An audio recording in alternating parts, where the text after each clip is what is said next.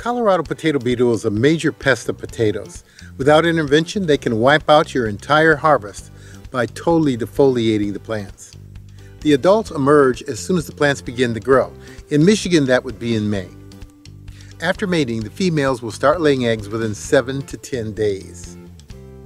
The eggs are deposited in clusters of 20 to 35. They are a bright orange and usually found on the undersides of the leaves.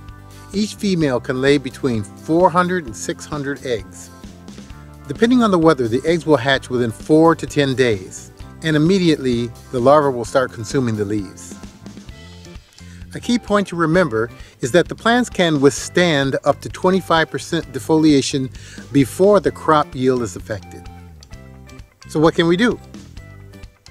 First, let's look at the non-chemical options.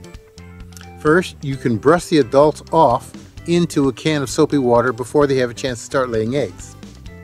You'll need to do this daily as long as you see adults. 2. Search for and crush the orange egg clusters in May and June. In Michigan, there is a spring and a summer generation, so keep at it. Let's briefly discuss chemical controls. Colorado potato beetle is notorious for developing a resistance to a wide variety of insecticides. Two organic pesticides that the beetles are not resistant to include one, azadirachtin, which is the active ingredient in all neem-based insecticides, and spinosad, which is a natural substance produced by bacteria whose name I will put on the screen instead of trying to pronounce it. I think you pronounce it Saccharopolyspora spinosa. Wow.